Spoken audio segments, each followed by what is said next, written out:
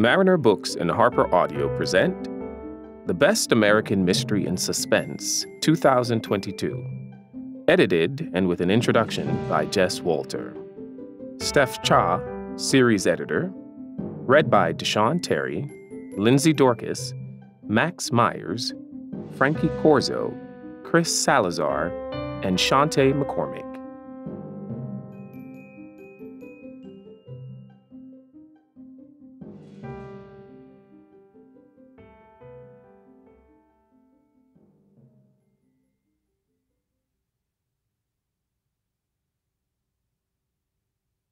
A note before we begin.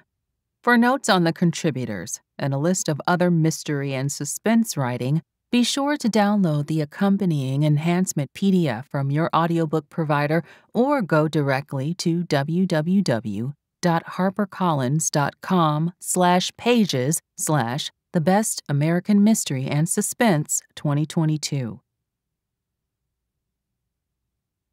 Forward.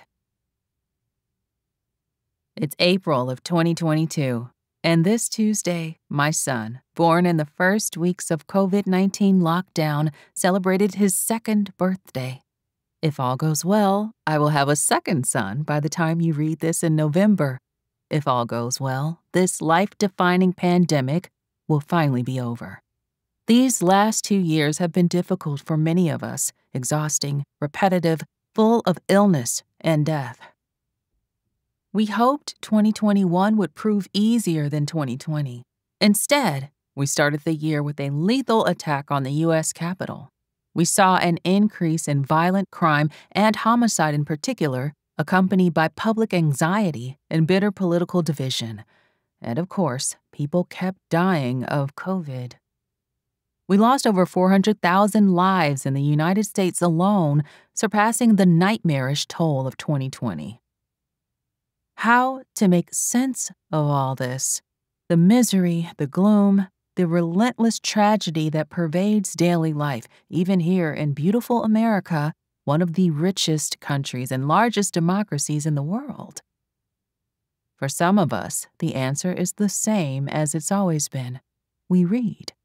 I imagine that you, reading the foreword to this year's Best American Mystery and Suspense anthology, are a bit like me you draw some particular necessary nourishment from crime fiction. I've been a professional crime writer for many years, so I've had occasion to examine what attracts us to this genre. I think we read to get educated and feel connected, as well as to escape and forget. But I developed my taste for dark, mysterious stories long before I thought to ask why.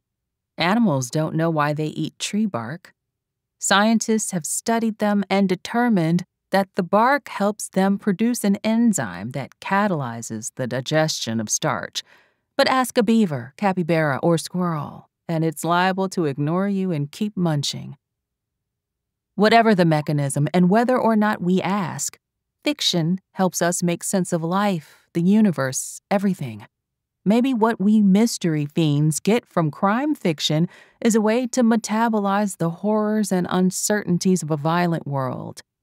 Crime writers translate the mystery and suspense of everyday living, and we take these stories and make them part of ourselves. This is what I found, anyway, in my years of reading and writing in this rich, expansive genre, and especially in the two eventful years since I started editing the best American mystery and suspense. I'm proud to be part of this essential series now published by Mariner Books and grateful for the opportunity to curate these stories for your consumption. Since its inception as the Best American Mystery Stories in 1997, this anthology has published short fiction by many of your favorite writers at different points in their careers. It also boasts an illustrious roster of guest editors Robert B. Parker, Sue Grafton, Ed McBain, Donald E. Westlake, Lawrence Block, James Ellroy, Michael Connelly, Nelson DeMille, Joyce Carol Oates, Scott Turow, Carl Hiaasen, George Pelecanos, Jeffrey Deaver, Lee Child, Harlan Coben, Robert Crais, Lisa Scottoline, Laura Lippman, James Patterson, Elizabeth George, John Sandford, Louise Penny, Jonathan Lethem, C.J. Box, and Alafair Burke, who was the first guest editor under my tenure. For Best American Mystery and Suspense 2022, I had the pleasure of working with Jess Walter, a writer I have long admired. I have a distant memory of spotting him at a hotel restaurant in Seattle during the Association of Writers and Writing Programs conference in 2014. I was far too intimidated to approach him. While his most famous book is probably Beautiful Ruins, an incredible literary novel as well as a publishing phenomenon, he is also a crime fiction luminary. His first two novels were wonderfully written thrillers featuring Spokane police detective Caroline Mabry. His third, Citizen Vince, won the Edgar Allan Poe Award for Best Novel in 2006. Like many of my favorite authors, Jess slips in and out of the genre, telling the stories he wants to tell in the way he wants to tell them.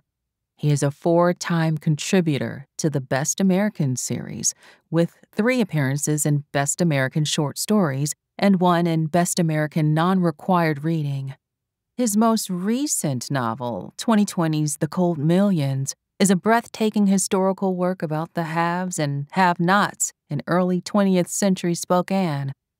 It also features a drunken hitman and a fugitive outlaw, in addition to the crime that always accompanies stories of deep social inequality, corrupt millionaires, a thuggish police force, and desperate people in an existential struggle against a broken government.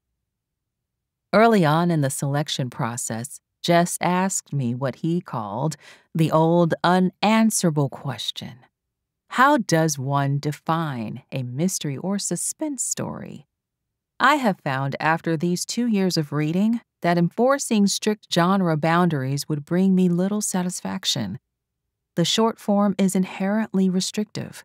It's hard to deliver all the joys of a 300 page crime novel in a spare few thousand words. The traditional mystery structure, in which questions are asked and answered, the promises of the genre fulfilled, can eat up a lot of space in a shorter work, leaving less room for scene setting and character development, or any of the other colorful, interesting, sometimes extraneous elements that make a story memorable. One of the best parts of this job is seeing the many brilliant ways in which writers incorporate crime into a broad range of stories. Some are whodunits, some are thrillers, some are just about people in bad circumstances trying to get through their day. They all bring mystery or suspense in one form or another. I sought out stories from a variety of sources, though I did start with the usual suspects. I read through every issue of Ellery Queen Mystery Magazine and Alfred Hitchcock's Mystery Magazine, as well as Akashic Books' collections of noir and genre stories. I tracked down all the crime anthologies published in 2021 and kept tabs on the various mystery publications, both in print and online. I also hit up editors of literary journals I thought might have a few stories that would fit comfortably under the crime umbrella. I sifted through all these stories and picked around 50 of the best, or more accurately, my favorites, which I passed on to Jess. He read them closely, taking thoughtful notes, and we discussed their merits at length and with great enthusiasm. Another amazing part of this job the two person book club with authors like Alafair Burke and Jess Walter. I gave him my input, and he narrowed down the list, making increasingly painful cuts until he selected the 20 in this volume. You can find the remaining 30 candidates in the honorable mentions at the back of this book. All the writers and stories on that list are worth seeking out. In fact, two of this year's contributors received honorable mentions last year. With two anthologies under my belt, I feel like I have some idea of what I'm doing as I start in on the Best American Mystery and Suspense 2023. That said, I still worry about missing eligible stories, so authors and editors, please do send me your work. To qualify, stories must be originally written in English or translated by the original authors, by writers born or permanently residing in the United States, they need to be independent stories, not excerpts, published in the calendar year 2021 in an American publication, either print or online. I have a strong preference for web submissions, which you can send in any reasonable format to bestamericanmysterysuspense at gmail.com. If you would like to send printed materials, you can email me for a mailing address. The submissions deadline is December 31st, and when possible, several months earlier. I promise to look at every story sent to me before that deadline. Afterward, you're relying on the personal generosity of the mother of two children under the age of three. Thank you for writing. Thank you for reading. Now, enjoy these killer stories. Steph Cha. Read by Chanté McCormick. Introduction I saw my first dead body before I was old enough to drink. A rookie newspaper reporter, I chased scanner traffic one night to a dark downtown alley. There, on the other side of yellow police tape, lay the crumpled body of a man who had fallen, or jumped, or was pushed, from a fourth floor window. I remember the eerie quiet and the way flashlight beams lit a narrow slick of blood. I remember a handful of onlookers coming out of a nearby tavern to crane their necks to see if it was someone they knew. Most of all, I remember thinking, wait, that man is not getting up. The finality of it took my breath away. Over the next few years, I wrote news stories about mafia witnesses, serial killers, a doomsday cult, and a shootout between federal agents and a white separatist family. I covered murders committed over drugs and greed and jealousy and who knows why. Two killers confessed to me, one of whom had already been acquitted of the crime, after I was dragged into court to testify in one case, I decided to give up on jailhouse interviews. When I became a fiction writer, I had no shortage of such material, and some of those experiences provided inspiration for my first few novels. But I knew from the beginning that I didn't want crime to be the only subject I wrote about. I wanted to write stories with suspense, but I wanted romance, too, and humor. I wanted to write coming of age and social satire, domestic farce and paranoid fever dreams. Hell, sometimes I might even want to use footnotes. Footnote. For instance, this pointless footnote, placed here simply to show that I can do this if I want to. So, actually, now that I think about it, I guess it does have a point. I wanted to write the way I read, all over the place, expansively, without the artificial limitations of genre bounding puppy like from philosophy to politics, from sentiment to snark, from darkness to absurdity, often on the same page. I am also an inveterate journal keeper, and I find myself drawn to the journals and diaries of other writers. When the stories that make up this anthology began raining down on my computer desktop, I happened to be reading Patricia Highsmith, her diaries and notebooks, 1941 to 1995, a fascinating collection of entries from the great suspense writer's 8,000 pages of diaries and journals. Footnote. All excerpts below are from Patricia Highsmith, her diaries and notebooks, 1941 to 1995. Edited by Anna von Planta, New York, W. W. Norton, 2021. Here we encounter the young Pat in 1949, just finished with her first novel, Strangers on a Train, soon to be adapted by Alfred Hitchcock into the classic film. She was also working on a very different novel at the time, The Price of Salt. Footnote A terrific film version was released in 2015 under the title Carol, directed by Todd Haynes and starring Cate Blanchett. This was a book she would ultimately publish under a pseudonym, out of fear that her career would be endangered by its lesbian themes and her refusal to punish the book's female lovers, a literary requirement of the time. It is both sad and thrilling to watch the young Highsmith try to reconcile these seemingly divergent literary ambitions, to battle both her deep self doubt and the strict cultural biases of the time, all while defining for herself a creative ethos that could contain such an expansive talent. I am curious as to that part of the mind which psychology, which denies the soul, cannot find or help or assuage, much less banish, namely, the soul. Highsmith wrote in June of 1949, It is this I want to write about next. Later that month, she added, There must be violence to satisfy me, and therefore drama and suspense. These are my principles. It was something I had to ask myself once the great young writer and unflappable editor of this series, Steph Cha, began emailing me dozens of mystery and suspense stories. What would be my principles?